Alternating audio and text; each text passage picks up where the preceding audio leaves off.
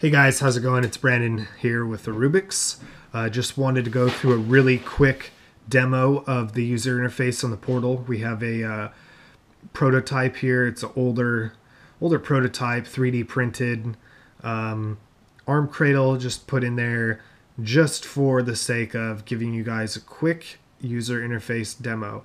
This is the lock screen. Um, it's the same you know, lock screen clock you'd probably use on the executive, you know, something like that. You can switch the clock to whatever you want, but that that that one particularly goes with the executive model. Um, anyways, uh, just like any other unlock, you double tap it um, to get in. You would just you swipe it. Obviously, it's not programmed to uh, to be working right now. Again, this is a super beta version just to get you guys through how the user interface is laid out. Uh, again, don't stress, it's also portrait. Um, we have it landscape now. When you're wearing it, uh, it definitely changes the the ergonomics of, of the way everything's laid out. Obviously, um, with with the way that the, the Android's laid out, it wouldn't really work very well in landscape uh, when you're wearing it.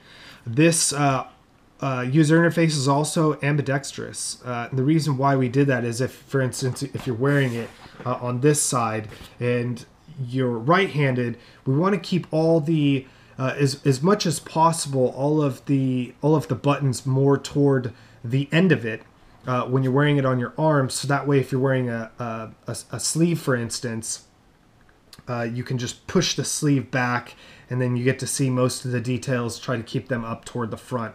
Um, these are the communication tabs.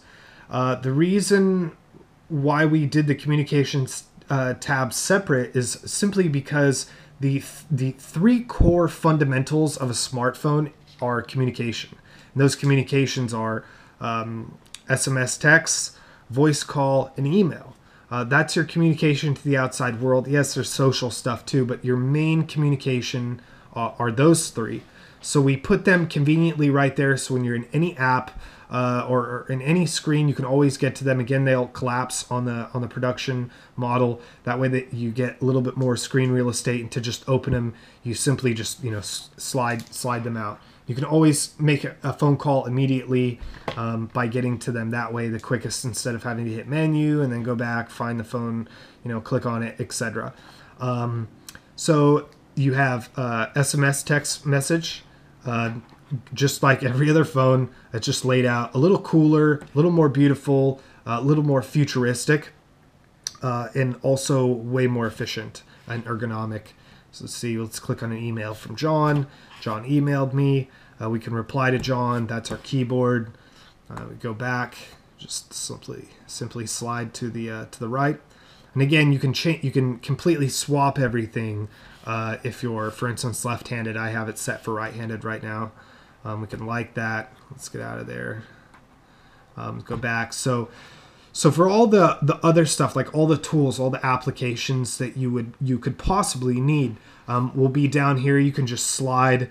Um, you could get to your your tools. Uh, web, obviously, learn. Uh, we'll go into learn uh, a little bit more in detail later on. Social, all your health stuff, and of course, news. Um, so, anyways, for like social, you just click on social. Um, and it also is laid out this way as well because it's broken down into these categories so you can get to it a lot quicker. Like if you needed your uh, your calculator, for instance, you don't have to slide and scroll through a bunch of different application icons trying to figure out which one's which because sometimes they all look the same. So hopefully this way uh, it, it's quite a bit easier for you to find your apps. So if you you know want to check your facebook you just click on social and then you know you can actually see in the in the in the widget here on the side before you even click on it if you have any new messages. That way you don't really waste your your, your time um, unless i guess you're bored just going through your facebook. Um, and again let's just go to back. You can always you know use the um, use the buttons on the side to get to any of your communication uh, application. So, anyways, that's pretty much just a quick run through the user interface. Again, we have a long ways to go. Um, we have plenty of time to get this uh, UI completely finished. We have a lot more to show you guys, but I just wanted to give everybody a quick heads up on why we designed the the um, user interface to look this way. Why we we bothered changing from the existing uh, Android, uh, iOS kind of old school, decade old layout is just because when you're wearing it, if you choose to wear it, uh, it's it's way more user friendly uh, for being worn, as well as even when you use it in portrait, it just organizes everything so much faster, so your brain can get to what you need to get um, by clicking through these different categories or being able to make a quick phone call.